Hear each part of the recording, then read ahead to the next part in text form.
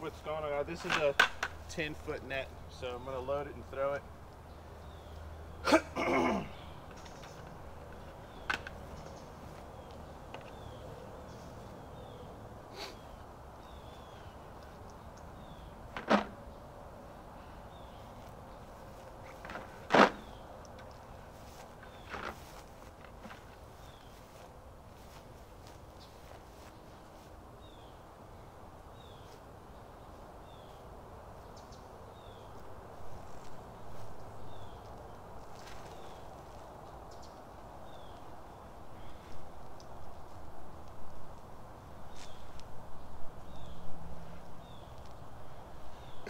your inside lead, you want to grab it, stick it up high on your shoulder and your trap.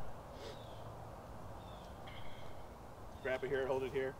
Now rotate this over.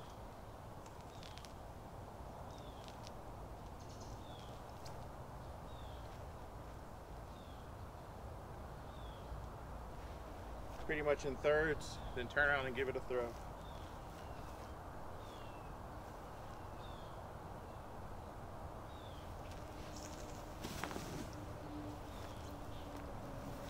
There goes your 10 foot.